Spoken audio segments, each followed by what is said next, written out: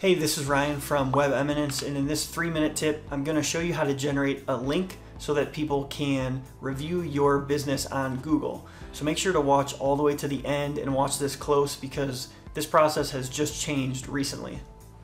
So in the past, we used to use a Google Place ID lookup tool, which is mentioned here, and you had to get an ID and then an ID number and then put it on a link that looked like this to get a link to send to people so they could review your business.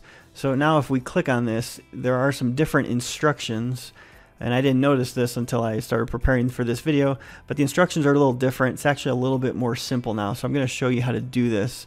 So the first step is to sign into Google My Business, and you can do that at google.com slash business. So I'm already signed in here. If you have multiple locations you're managing, you'll see them listed here. So just click on one of them that you're trying to uh, get a review link for. And what you're going to look for is a card down here that says get more reviews. And it looks like this. If you're not seeing this link, and I actually wasn't myself, you have to first go to info, click on info on the left side menu, and then add a short name to your listing and this is just a name that can go in the URL. So if you don't have this, you're not going to be able to get a review link. So I just added a short one called The Day Offices, and I added that a few minutes ago, and then the card popped up on my um, homepage here. So again, find that card that says Get More Reviews, and then you can copy this link. And if I paste that in a browser and go to that link, it'll pop up the old um, page you're used to seeing where it takes people to your listing and it should pop up a window to um, write a review.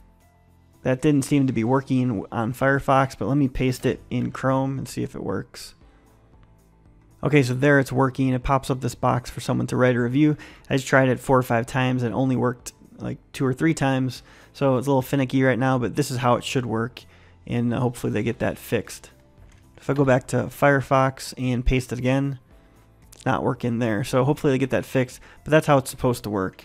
So you can use that method to get a link to put on your website or in emails to send people directly to a page to review your business on Google. If you want to see a tip that I use to filter out bad reviews before they get to Google, check out this video linked here. Thanks for watching.